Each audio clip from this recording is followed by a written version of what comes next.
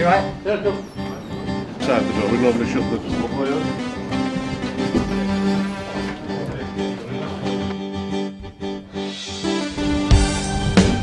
Welcome to Ewood Park, where this afternoon Pompey are back on an old stomping ground, taking on old foes Blackburn Rovers.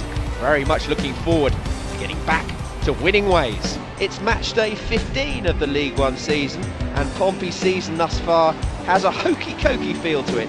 In and out, win, loss, win, six wins, two draws, and of course six losses. And the Blues take on a Blackburn side, one place above them in the table, but only two points off the playoff places. Team news is just in. There is one change for Pompey this afternoon, probably as expected.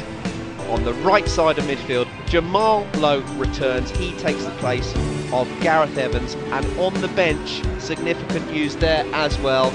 Brett Pitman returns after his operation and absence. He takes the place of Christian Oxlade Chamberlain.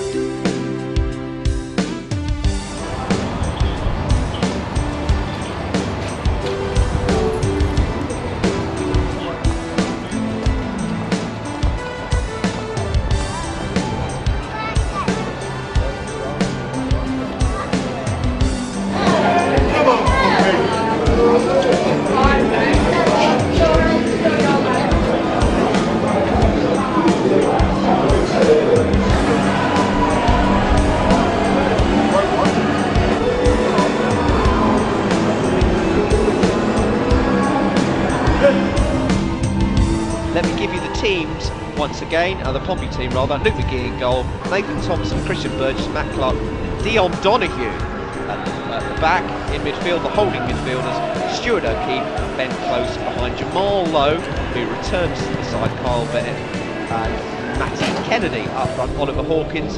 This is the Blackburn side. David Raya in goal. Two changes for them, by the way. Paul Downing comes in at the back alongside Ryan Nyambe. Charlie Mulgrew, Derrick Williams in midfield, Elliott Bennett, Kyle's brother, Peter Whittingham, Richie Smallwood, Bradley Dack and Harry Chapman up front, Danny Graham. And the two benches are, Bunky. Uh, Jayson Leutwiler is, uh, you may remember him from when we played Shrewsbury a couple of years ago, is the substitute goalkeeper for the home team. Dominic Samuel, Paul Caddis, who very nearly joined Pompey, you may remember. Uh, Marcus Antonsson on loan from Leeds, Ben Gladwin, Corry Evans, uh, Craig Conway, uh, Scottish international. That completes the bench for the home team. The visitors, Alex Bass, Danny Rose, Brett Pitman, a welcome back to him, Conor Chaplin, Kal Naismith, Gareth Evans, and Brandon Haunstrup.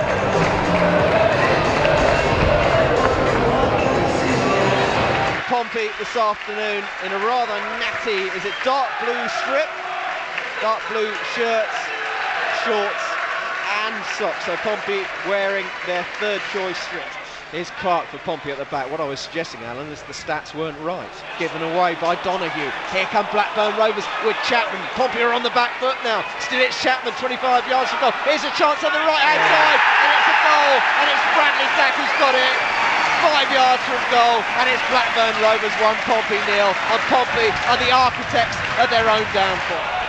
Here come the home side down the left flank. Forward to Jan- Danny Graham into the penalty area. Tries a shot, and it's the second goal. And it's Danny Graham from inches inside the penalty area into the bottom right hand corner. Martin, for you, uh, you can't beat this commentary. You guys are awesome. Perhaps we should play swim ball, he suggests. Very kind of you. I don't think as the ball is held up as a Pompey Red card. player- There's Uh, a red Samuel. card for an off the ball incident to the substitute. And here is Burgess again trying to receive the ball, breaking forward.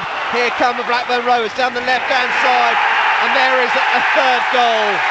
And it's Conway who's got it. That capped a miserable afternoon for Pompey, and it's Blackburn Rovers 3, Pompey nil. It's not been possible to play football for what, the last 20 minutes, and that thankfully is the end of it. Blackburn Rovers have won this afternoon. It's finished Rovers 3, Pompey nil.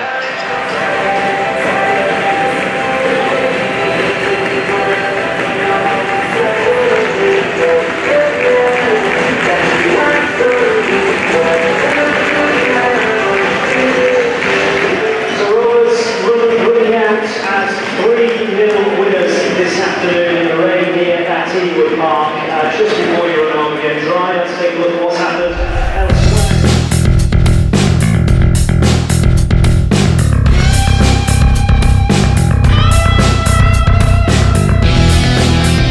We have to value, you know, in the, the, these two away games there, we have to value defending as well. We've given five goals away in two away games. Hard to get anything then.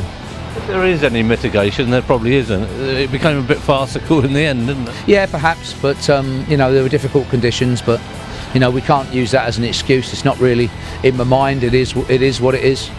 Um, you know they broke and got a very good goal, a very good third goal, and and um, you know it was an excellent finish. And you know we couldn't create that type of chance, and the conditions were exactly the same for both sides.